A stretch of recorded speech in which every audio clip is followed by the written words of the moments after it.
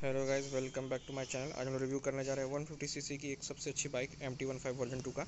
ये जो बाइक है दोस्तों, ये बाइक 150 सीसी में बहुत ज़्यादा पावरफुल बाइक है। इसका जो पावर जो है बहुत ही अच्छा है और इसमें जो है लिक्विड कूल्ड इंजन यूज़ किया गया है। इसका आप देख सकते हैं कि जो गेयर पैटर्न वो भी बहुत ही अच्छा है। इसमें side stand cut off sensor मिल जाता है। क्रैश गार्ड मैंने अलग से लगवा रखा है। यहाँ पर आप देख सकते हैं कि फुट रेस्ट भी है। और यहाँ पे आप देख सकते हैं कि सारी गार्ड भी दिया हुआ है और पीछे का स्टाइल काफ़ी अच्छा है। सीट थोड़ी छोटी है स्पोर्टी लुक के लिए। पीछे भी आपको टेल लैम्प एल लाइट मिल जाती है। एग्जॉस्ट काफ़ी अच्छा है और यहाँ पे आप देख सकते हैं कि पैर रखने के लिए फुट रेस्ट रखने के लिए काफ़ी स्पॉटी दिया गया है। और इसका जो लिक्विड कूल इंजन है बहुत ही अच्छा परफॉर्म करता है। इसके जो पीछे की टायर है, वो भी काफ़ी चौड़ी है। और ज़्यादा डिटेल्स के लिए आप मेरे डिस्क्रिप्शन चेक कर सकते हैं। मैंने उसमें सारा जो इसका डाटा है, वो डाल दिया है। और आप यहाँ देख सकते हैं कि काफ़ी अच्छा इसका लुक है। इसमें मैंने बोबो गेयर्स का मोबाइल होल्डर लगाया है।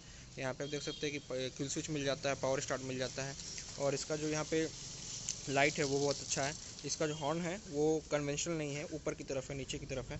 और नीचे की तरफ़ आपको इंडिकेटर मिल जाता है। यानी काफ़ी बाइक से इसका उल्टा यहाँ पे दिया गया है स्विच जो हॉर्न का स्विच है उसको ऊपर रख दिया गया है और इंडिकेटर का स्विच को नीचे रख दिया गया है। इसका जो साइड मिरर है वो भी काफ़ी स्टाइलिश है। और इसमें जो आपको है, बिल्कुल आर वन फाइव की तरह टी डिस्प्ले मिल जाता है। बहुत ही अच्छा डिस्प्ले है और आगे जो आपको लुक मिलता है वो बिल्कुल समुराई लुक मिल जाता है। और इसका जो अपसाइड डाउन फॉर्क है, वो गोल्डन है। आप देख सकते हैं गोल्डन कलर में है। और इसका जो डिस्क है, वो बहुत ही बड़ा है। इसमें आपको एबीएस भी मिल जाती है। यानी सिंगल चैनल एबीएस है आगे की टायर में। और काफ़ी बड़ी डिस्क यूज़ की गई है। इसका जो रेडिएटर है, आप देख सकते हैं बहुत ही बड़ा रेडिएटर है। जो कोई इसकी इंजन को ठंडा रखता है, काफ़ी अच्छा कूलिंग प्रोवाइड करता है। रेडिएटर बहुत ही अच्छा है।